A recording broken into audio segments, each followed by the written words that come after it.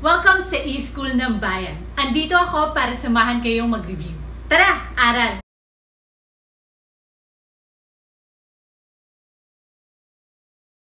Dividing polynomials by, by a monomial. So, ito, di-divide mo lang yung each term ng polynomial by the monomial. So, basically, yung concept kanina, i-apply lang dito. Except this time, meron ka mga i-add or subtract. Okay, so, uh, example 1. 3x squared minus 12x plus 15 over 3x. Okay? So, to solve this, um, ihiwalay-hiwalay natin sila. So, magkakaroon tayo ng tatlo, parang monomial over monomial. Okay? So, take note guys kung ano yung signs dito. Okay? Nagfo-follow lang siya. Nakuha lang naman to, parang in-expand ko lang siya. So, this is equal to, ito, magka-cancel lang to, cancel yung isang x, ito mababawasan ng isa. So, x minus 12 x over 3x. Magka-cancel ulit yung x's nila. Ito, divisible by 3, divisible by 3. We're left with 4. How about this one? Ito, divisible by 3, may iwan ng 5. Ang 3 magka-cancel. And may naiwan tayong x dyan. So, plus 5 over x. Okay, so same lang sa concept kanina, di ba? It's just that this time, meron kang polynomial sa iyong numerator. Okay, one more example. Tapos kayo magsasagot after this. 15y squared minus 35y plus 20 over negative 5y. So, sulat, sige, sulat muna natin. 15y squared over negative 5y minus 35y over... Okay. Sige, sasama ko lang. So, take note ha, may negative dyan. Plus 20 over negative 5y. So, this is equal to divisible by 5, 3, cancel yung 5, cancel yung y na to, babawasan ng isang y yung ating exponent. So, ang may iwan dito is, meron kang negative 1 sa baba. Okay, parang 3y over negative 1. Okay, so para mawala to, multiply lang natin both numerator and denominator by negative 1. This is equal to negative 3y. Okay? This one, may negative ka, may negative ka. So, gawin na natin silang positive. Okay? Magka-cancel lang yung signs niya. 35 divided by 5, magiging 7. Ito, cancel lang. Cancel, cancel. So, here we have plus 7. How about here?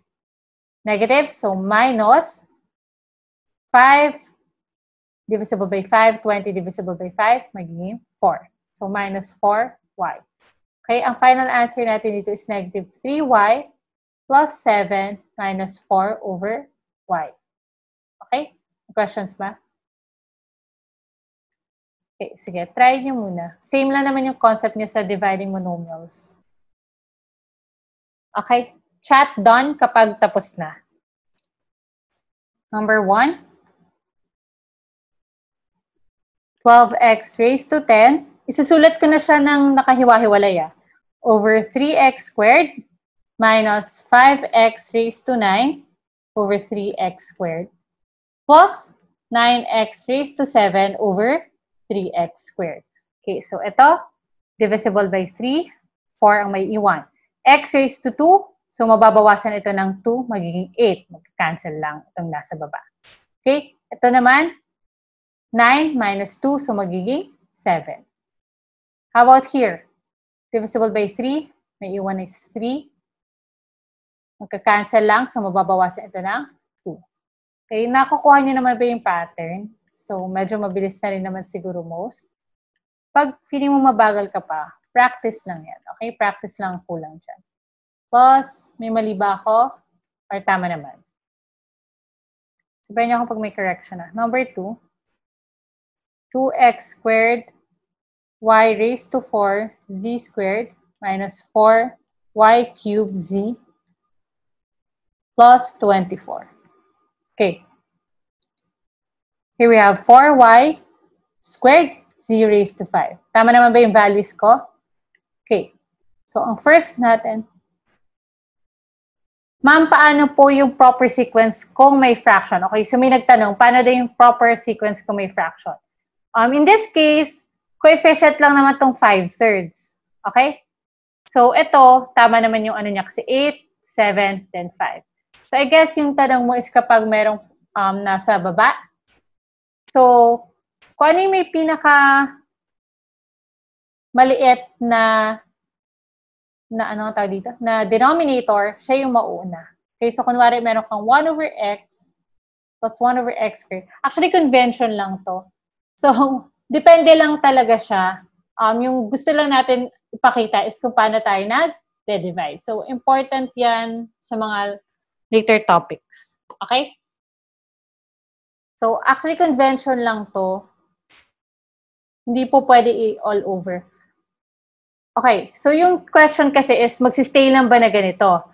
Hindi daw ba gagawin na over 3? Pwede mo namang gawin ganun. So, depende lang siya sa choices. Okay? Kasi pwedeng, ito yung nasa choices mo. di ba? Um, I always say that, di ba? Na parang, kunwari nagsosolve ka, bago ka mag-proceed into um, converting it to, kunwari, general, general form or other forms, i-check mo muna kung nasa choices na yung sagot mo. Okay? So, during calculation, no, hindi mo kailangan na naka-general form siya. Nasagot ko ba yung mga tanong mo? So, let's continue. Here we have yung first term natin. Tingnan na lang natin siya. Wala namang x sa baba. So, mamamaintain pa. Ah, unahin muna natin coefficient. So, yung coefficient dito would be, may iwan yung, makakancel yung 2. Yung 4 magiging 2 sa baba. Okay? x squared, wala namang x sa baba. So, x squared y raised to 4 versus y squared. May iwan, y squared sa taas. z squared versus z raised to 5, may iwan z cubed. Okay? So, minus, kasi negative, 4 over 4, so makakancel yung coefficient. y cubed over y squared, may iwan is y. And then, z over z raised to 5, ang may iwan, z raised to 4 sa baba. Okay, and lastly, we have this one. Plus 24 all over this one. So, magka-cancel. Ito magiging 6, right? 6 over, mawawala din yung 4y squared z raised to 5. Okay? Nakukuha naman ba na lahat? Meron bang nahuhuli? Plus 14ab squared c minus 21abc over 7a cubed b squared c. So, ang first term natin is going to be negative. Magka-cancel yung a cube nila. Ang b sa taas, matatanggal. May iwan ka with b sa baba. So, actually, dito, ang first term mo would be negative 1 over b. Okay.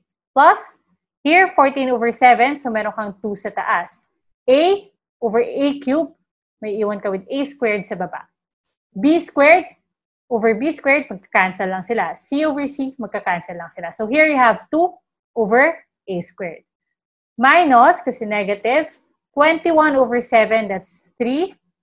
a, b, c, magka-cancel lang sila kasi mas malaki yung lahat ng power mo dito. Yung a magiging a squared, b, and then yung c sa baba, makaka-cancel with nasa taas. So this is our final answer. Negative 1 over b plus 2 over a squared minus 3 over a squared b.